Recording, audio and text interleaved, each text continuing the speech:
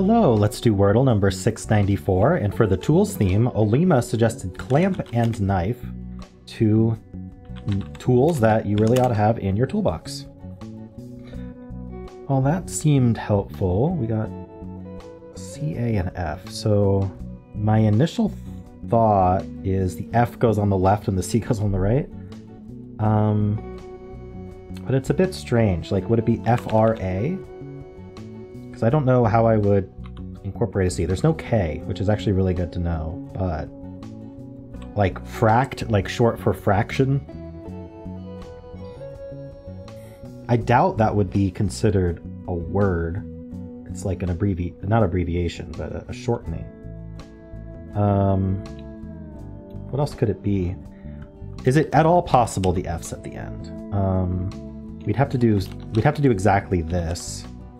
Scarf. Oh, scarf is way better than fract. And it's correct. Nice.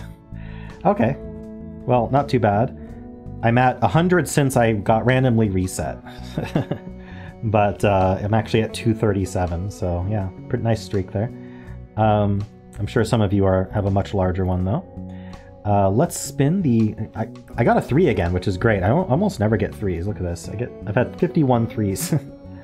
um, never get one or two because of the way I do starts. But um, let's spin the wheel of themes here.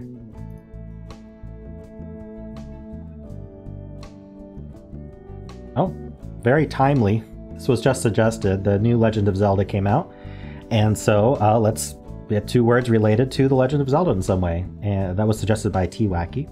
And as, as, I always say when it's like fandom stuff, TV shows, all that stuff, games, um, make sure that your words are accepted by Wordle, um, or you know it won't get picked because I won't be able to type them.